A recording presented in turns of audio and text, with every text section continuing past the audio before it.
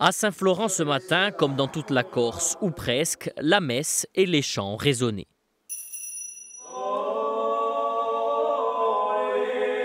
Maintenir la tradition, c'est ce à quoi s'emploient les confrères. Ici, pour la Toussaint, on confectionne à Goulana di Morti un chapelet représenté avec des ballottes et châtaignes bouillies et une pomme. Elle était confectionnée donc à l'occasion de la Toussaint d'Isanti.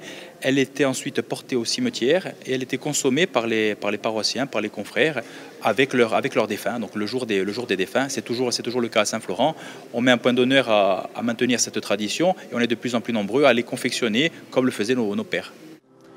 La tradition la plus marquante demeure celle de fleurir les tombes, une coutume très présente encore dans chaque village de Corse. Les autres tournent autour de la gastronomie, de la salviade à Bastiaise au pain des morts bonifacien, en passant par les bastelles ou autres charges.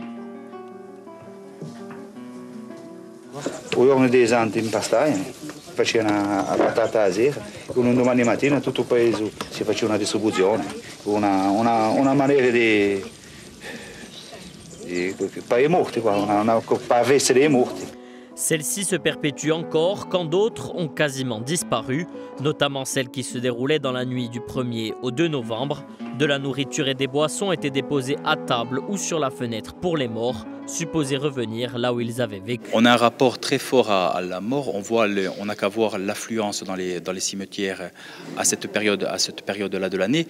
Mais il est vrai que les traditions et je dirais tout le cérémonial, les us et, coutumes de nos, aînés aujourd'hui se perdent. Tout ce cérémonial, tous ces rituels qui marquaient ce moment de, de, passage, de communion entre les, entre les deux mondes, finalement ont disparu.